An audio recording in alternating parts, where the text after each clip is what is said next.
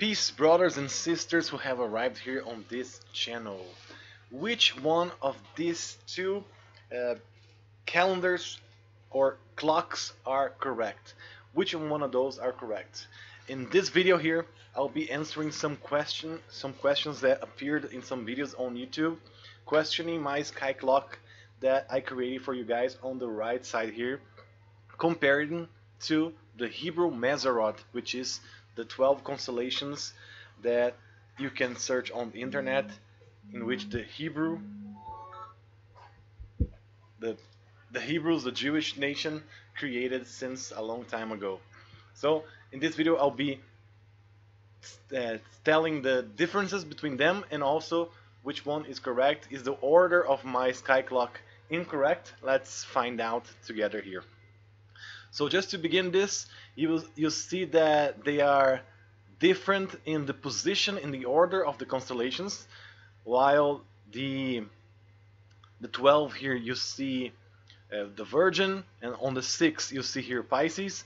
Mine, the 12 is Pisces, and the 6 here is the Virgin, Virgo.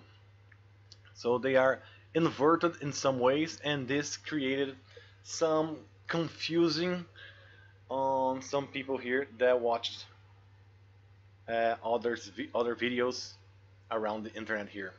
So to begin to begin this, let's first go towards a normal wall clock to understand the basics first.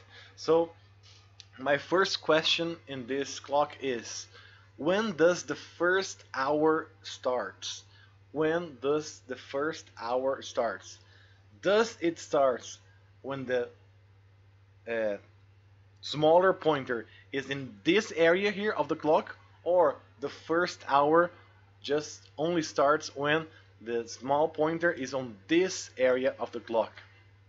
If you know and understand how a wall clock works, you know that the first hour just starts when this happens. When the small pointer is pointing the first hour, the first number, and the large pointer, the taller pointer is at a 12, uh, the 12 pointer there, 12 number. So that's the first hour. So another question for you guys. When this happens, then what time is it in the clock? Basically, you see that now it's 105. So you see that when the first and the smaller pointer is pointing the 1, that's when the hour 1 starts, the first hour starts. And then the minutes change changes uh, because of the taller pointer that goes through all throughout all of the numbers. So it is one. Uh, it is one. It starts the one hour with the smaller pointer, and then it keep, keeps on going, and it keeps on being the first hour until it reaches the second number, and so on. It is very simple uh, for you to understand.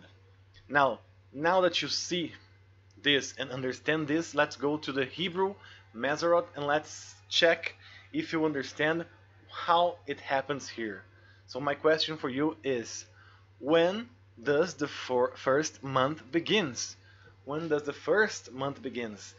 Is it in this area here, when the sun is in this area, or is it when the sun is in this area here? So just like a normal wall clock, you can realize that the first month only begins when the sun reaches the first constellation. And in this case, in the Hebrew Mazzaroth, they are calling the first constellation the constellation of Libra. So you understand this uh, in a few minutes. But just uh, because of this, as the other video that was mentioning this Hebrew Mazzaroth, for some reason, for, for some reason, was saying that Virgo was the first constellation, and clearly that's a misunderstanding of how a clock works, because clearly Virgo is a 12th constellation in this Hebrew Mazzaroth, and not the first one. The first one clearly is Libra, and that's the, that's the first misunderstanding of the video mentioning the Hebrew Mazzaroth comparing to my sky clock. So we know clearly that Libra here in this uh, picture is the first constellation, the first month. And the moon will go through all, all of the numbers, all of the constellations, and reach the sun again. And that's the new moon on uh, when the sun is together with the moon here, pointing the first hour or the first month here. So, to answer this question, the first month begins when the new moon is sighted in the first constellation. Basic knowledge, that's uh, very important for everybody to understand how uh, clock works, to understand how the constellations and the sky clock works. Now, why is it different from the one that I made? So you can see here, mine compared to this one. You see the difference is on the order here. And you will see that the difference based on these two pictures here is because of this. There are differences between the civil and the biblical calendar. So there are two major uh, calendars or uh, the way the Jewish nation sees the calendars because of the biblical or religious calendar and the civil calendar. And this is a basic uh, Google search that you can do to understand this. So together here you just basically just search this out on YouTube or on Google and you will find that there are differences between the religious calendar and the civil calendar from the Jewish nation. So the religious calendar came into existence just before the first Passover, which was followed by Exodus from Egypt, according to Exodus 12 1 and 2. The Lord changed the Hebrew calendar to begin in the spring, whereas it had previously begun in the fall. The Jews, however, maintained the original calendar which was based on growing seasons and superimposed the religious calendar over it. So the Jewish nation uh, maintained the original calendar that uh, started in the fall, even though God in Exodus 12 said to change the Hebrew calendar to begin the new year in the spring. So because of this, you see that they have uh, the liturgical year or the biblical year and the civil year, and they are changed by six months. So Abib or Nisan is biblically the first one, but they call it the seventh one. And Tishri, the seventh one, they call it the first one, and so on. So it's all inverted in six months. And you can search this out. There's everywhere. This is a basic principle that everybody must understand. it, it is even odd to see somebody receive information about the sky clock or about the constellations from God and do not realize this basic stuff here that the there are two major calendars for Israel a biblical one that is the one that God wants you to use and the Jewish one that maintained the old one uh, which they created since I don't know before Exodus there in the Babylon Empire and also you can see here there are many many informations that you can see that are the same here. So while for them the civic, the Tishri, Uh, which falls in September or October, is the first one. For the religion, for the Bible, it is the seventh one, which is inverted. So we find this information here about Babylon calendars. Very interesting here. In Mesopotamia, the solar year was divided into two seasons, so that's why we created a video also about the only two seasons in Israel.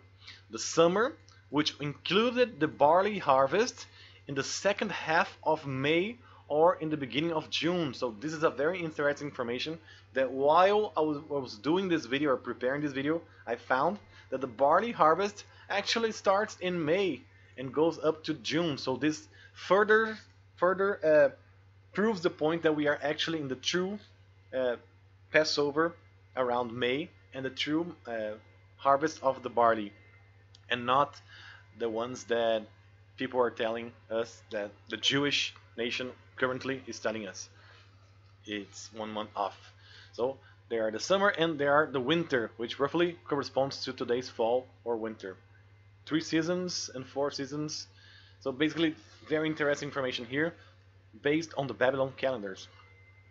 And also here, another good information uh, from this encyclopedia here. The months began at the first visibility of the new moon.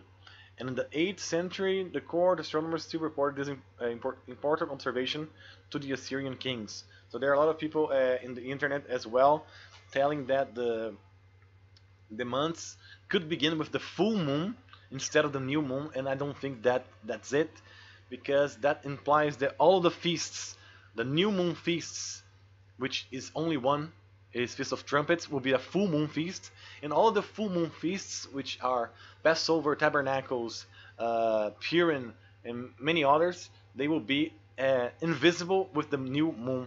So they are. It doesn't work properly, especially if you look at the sky clock, which tells you that the sun, which is the hour pointer, has to be close, uh, right above here, the hour, the minute pointer, for them to point at the the singular beginning of a new month. So it does not make sense the moon being all the way here on the opposite side of the sun, hour pointer, and that's the beginning of something. No, that's the middle of something. So uh, another uh, huge information for you to understand here. So clearly you see that this Hebrew Mazzaroth is based on the civil calendar because the Jewish nation they maintained the old calendar that started the year here in Libra, which is why they call it Rosh Hashanah. So they changed the year in in Libra. They changed the the the new year in Libra in Rosh Hashanah. They created uh, they start the Shemitas and Jubilees all in here, and they call up until this day the when the sun is in Libra or supposed to be in Libra, the currently seven constellation, they call it the first uh, new month of the new year. So until today, at this 2023, the Jews are still maintaining the old ancient ways. However, God did this. God, He uh, called the seventh month the first month. So He inverted all the constellations in this manner here. So God did in Exodus 12 this call the first month the month of Nisan the month of Aries the first uh, month of the year so the change of the year happens now since Exodus in uh, the first month which is now the first constellation Aries so this order is not wrong because uh, God is the one who changed it, and He changed it for a purpose. For it all to begins with His sacrifice. For it all to begins with the sacrifice of the Lamb, which is Jesus Christ. So, the order of the Mazzaroth, the order of the constellations, they are not wrong. It is God Himself who did this change, and this is the most correct uh, way to see the constellations now, because since God has changed it, He hasn't changed it back. So we cannot call now Libra, which is now the seventh month, the seventh constellation, uh, the first one, because of the old ancient Jewish traditions ways. We have to call it Aries, the first constellation, the first month, because God has said so. So it is better to stick with what God has said than what to tradition of man, tradition of mankind, tradition of the Jewish nation has maintained. So I hope this has answered a lot of questions that people has brought up about the sky clock. So this is correct. If you see my sky clock here, the order is just like it. It's correct. Aries the first one, Libra the seventh one, just like the one we saw here. Now corrected based on what God has said. And another thing that it is a very interesting thing that that people said about this sky clock of mine is this. Uh, they said that in this position here, uh, Aquarius, which is the man, is above Lion, which is the lion of the tribe of Judah here. So this is a boast, a boastful way to boost mankind instead of boosting the true King Jesus Christ. So this is wrong. This the order is wrong because uh, the Aquarius, which is the man, is above the lion, which is supposed, uh, and now and not in the contrary, because according to this person, the lion has to be above the man because it is the lion of the tribe of Judah. That's why the order is incorrect. That's why everything is incorrect. So this is very odd as well. It's a very weak argument because there are no above or under in this viewpoint. We are basically looking at the earth from above. So there are no over the top or under the earth. It is the the positions of north, south, east and west. So it is very odd to see somebody say this. So there are no above and under. There are north, south, east, and west. We are looking sideways here, and this view of the earth is a view from above. So we are above looking at the stars and constellations. They are sideways in the earth, and they are the, the positions are north, south, east, and west. So very odd things that people are claiming here. Uh, most of them because they don't understand simple things. They don't understand how a clock works. They don't understand the basic Jewish differences between the civil and the biblical calendars. They don't understand the positions of north, south, east, and west. Uh, so they, they don't understand much, which begs the question: Is it God that is leading them really, with all of this misinformation that they had, or is they is it that just they themselves are thinking they are wrong, they are right, and everybody else is wrong? So this begs the question here because this is a very simple thing to understand. This is a very simple, basic stuff to understand. And now that I have proven to you guys that this is uh, true, this is correct, let's go to the correct and fixed sky clock, which is now correct. Now that I have answered all the questions there that appeared in videos from YouTube, now let's go to what's going on in this day. For me here is already April 20 and for you some of you guys will be in a few hours. But this date on April 20 at night at 6 p.m. that's when the sun will be in the constellation of Aries and the moon together with the sun will be also in the constellation of Aries and that's when it's going to happen if it's not happening already the solar eclipse that it's going to be marking the start of the new year. So we're right now at the last day of the year of the biblical year 2022 or the the correct year 5992 and tomorrow April 21st that's the first day of the first year of 2023 since the crucifixion or 5993 since the fall of Adam and Eve. So it is a very key important moment that we have right here.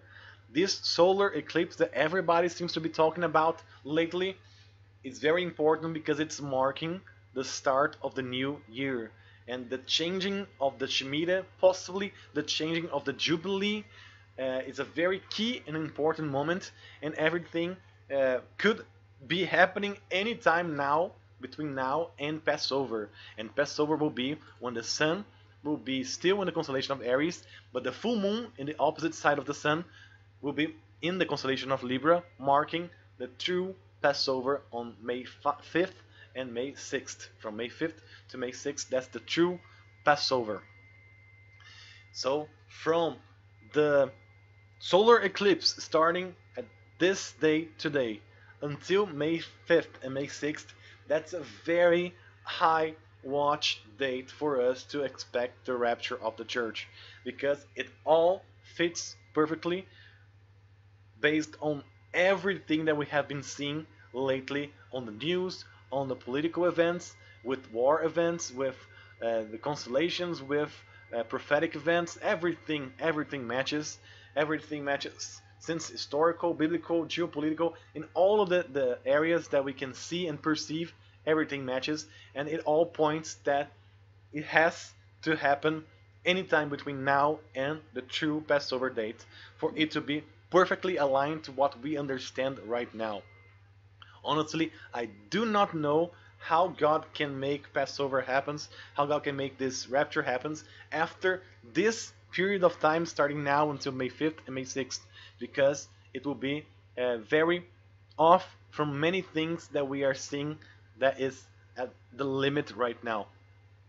So the odds are very likely, very, very likely that the rapture can happen anytime between now and the true Passover there on May 5th or May 6th up to May 10th, which will be around the time of the true resurrection date, which will be 117. So up to May 10, I would extend the watch because it is, it is a very key important moment for the whole Bible, the whole uh, situation that we have here. That's the highest watch we can have. You know, if you watch my previous videos, from everywhere we can look the, the, the things.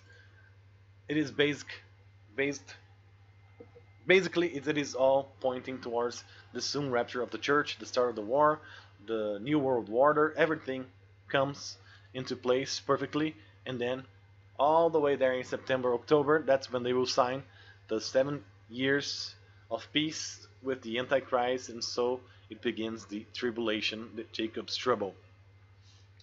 So I hope that you are very, very excited because if it feels feels like that anytime between anytime now we can go home, anytime now the trumpet can sound, and it will be it will be catching uh, calling many people by surprise. Just to look at this uh, chart that I made for you guys, that we are here, this little ship, we are now getting towards the first day of the first month tomorrow and that's when this highest time frame here begins for us for the church possibly because also it is six months until uh, one two three four five six six months until here the feast of trumpets which is a six month gap between the rapture and the start of the tribulation there in the fall feasts. If we know and understand that the tribulation, Jacob's, Jacob's trouble, has to end in this fall feasts because Jesus will return in this fall feasts, so it has to start here and it has to end here. So if it has to start here, then this gap between the rapture and the and the start of the, the Jacob's trouble, it's perfect with within six months because of also the passage that David uh, ruled from Hebron, which is the, the town of the Gentiles.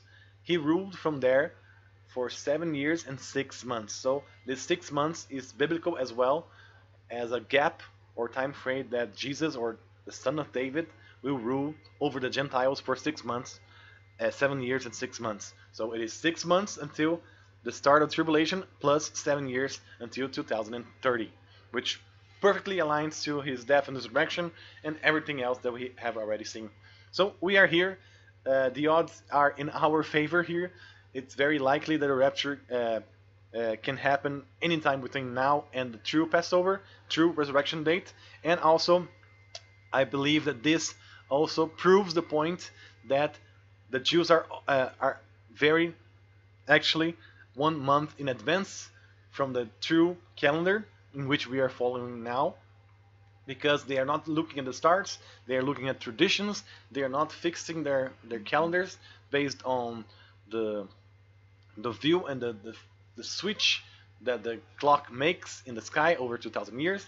They are not precisely aligned to the constellation of Aries for it to be the first month. That's why they are one month in advance. And it perfectly show perfectly shows us that we are in the true uh, first month because not only we are aligned, but uh, for many people that are following Jewish uh, calendar, Jewish months, they will be on second Passover when it is true Passover. So imagine that nothing ever happens on second Passover. It is very odd that God would rapture the church here on second Passover, and then six months after the second Passover would be all the way there on the eighth month, the month of the flood, which is a little bit odd as well because Jesus has to come in the trumpets or in the tabernacles time frame. And it will be very odd, very, very odd for it to be second Passover because also Jesus has to fulfill the true Passover with us in the heavens to fulfill the, the prophecy of Joshua, uh, fulfilling Passover in the Promised Land before, uh, going passing over to the Promised Land before the Passover and celebrating it there, and also Jesus saying that he would uh, drink of the fruit of the vine with us in the Father's house when he calls. So we have to fulfill Passover in heaven already. So it fits perfectly from now until true Passover. It is the time frame that we are expecting for the rapture to happen and for all of this to fit. If we pass, there are uh, high watches all throughout the year, but it is very odd if it passes because it all matches for now. I cannot see it going further than this at this moment of time. So I hope that this has blessed you. I hope that this has uh, answered your questions. Both are correct, but one is is basically looking at the traditions of the Jewish nation that's starting the year in September, October, and the fall with Libra, and the other one is the correct version, biblical version, uh, following what God said in Exodus 12, starting the year in the constellation of Aries.